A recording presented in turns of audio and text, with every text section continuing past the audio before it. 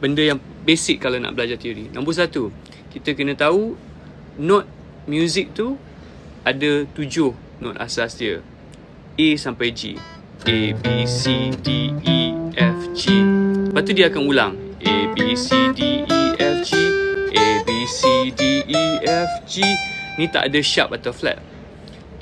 Dalam tujuh note tu, ada uh, notes B dengan C tu sebelah menyebelah dan E dengan F pun sebelah menyebelah maksudnya dia tidak ada note di antara dua note tu. Lepas tu note lain tu ada note di tengah-tengah dia. Maksudnya A dengan B tu tengah-tengah dia A sharp.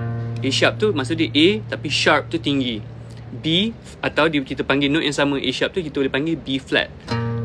Jadi B flat tu maksudnya B tapi rendah satu fret. Jadi B flat atau A sharp dia ada dua nama. Jadi note ni kita boleh panggil A sharp atau B flat bergantung dengan konteks apa yang kita mainkan. Jadi A dengan B. Lepas tu tengah-tengah ada A sharp atau B flat. Okay. Lepas tu kalau C dengan D, tengah-tengah tu C sharp atau D flat. Antara D dengan E, tengah-tengah tu ada D sharp atau E flat. F dengan G, tengah-tengah tu F sharp atau G flat. G dengan A, tengah-tengah tu G sharp atau A flat. A dengan B, A sharp atau B flat. Jadi bila kita tahu tu semua secara asas ni teori western music lah, western classical music, dia ada so tujuh note yang natural tu. Lepas tu kalau tambah yang sharp dengan flat tu ada lima lagi note. Tapi yang lima note tu ada nama sharp, ada nama flat dia. Ni asas dia. Jadi kalau saya namakan semua note tu A secara menaik ya. A, A sharp, B, C, C sharp, D, D sharp, E, F, F sharp, G, G sharp, A. Ni yang dinamakan chromatic scale. Jadi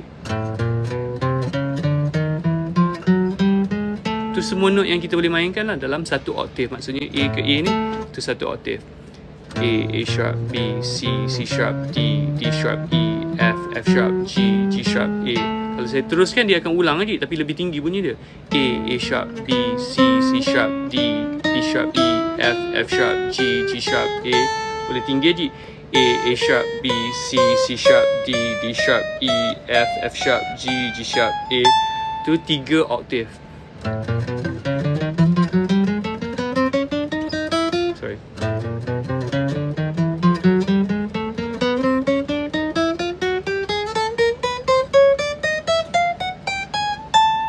Okay, itu adalah benda yang paling basic kalau nak belajar teori muzik.